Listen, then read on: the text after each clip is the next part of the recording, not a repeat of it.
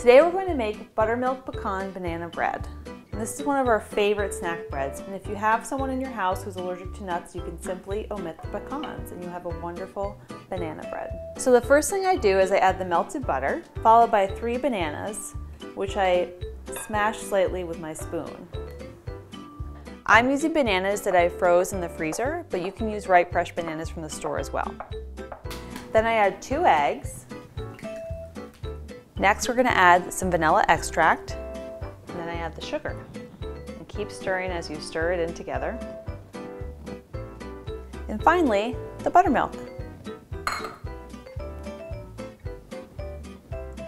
And the wet ingredients are ready. The first thing we do for the dry ingredients is I add two cups of flour to a bowl, followed by two teaspoons of baking powder, followed by one teaspoon of baking soda. And for an extra dose of flavor, I like to add a generous pinch of nutmeg. Then I stir them together and now they're ready to be folded into the wet ingredients. To fold them in, I just scooch all the flour into the wet ingredients and fold it together. I fold just until the flour is no longer visible, but I don't want to overstir it because that will make the bread very tough. Now, for some extra crunch, I like to add pecans that have been coarsely chopped. The first thing I do is toss them with one teaspoon of flour. This helps suspend them in the batter while they're baking. Then I shake them into the batter and fold them together gently, maybe just once or twice. And there we go. Our batter is all ready to be baked.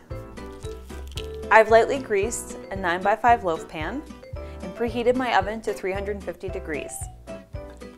Now I'm just going to pour in the batter and spread it evenly on top with my spatula.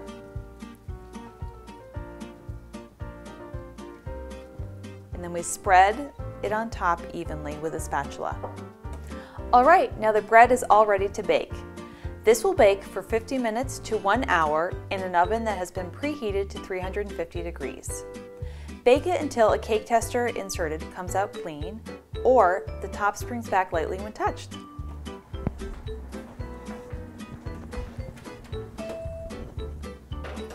All right, our bread is baked and cooled and it is all ready for Daphne when she comes home from school for her afternoon snack and I might have some tonight after dinner for dessert.